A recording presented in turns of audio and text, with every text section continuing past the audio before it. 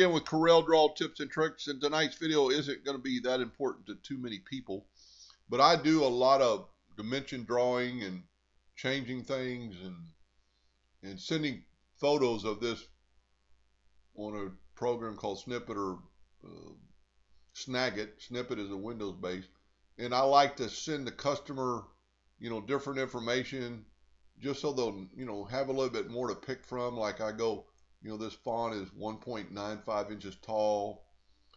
And also, so today's video is about the three-point callout tool. And it's, it's under your par, uh, parallel dimension tool right here, three-point callout. And you can get on that corner and just draw you a line and then draw you another line. And when you let go, it automatically gives you a font cursor. So I'm going to go half inch round corner.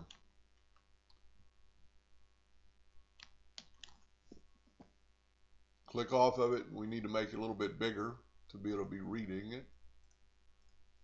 But that would be very good to send the customer just so they'll kind of visualize uh, what this, and this is just a made up little deal, but if it was a plaque and you just made, a, let's say, a name tag and about a name tag, about the right size of a name tag, which is, well, that's still too big. Let's go three by two.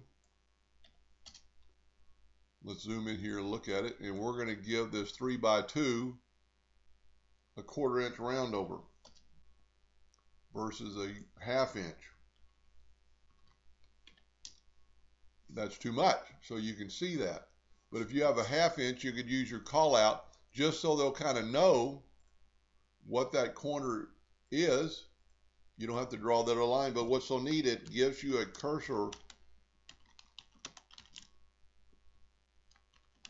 to, uh, you don't even have to do anything. It's there. Of course, you'd probably want to put it closer.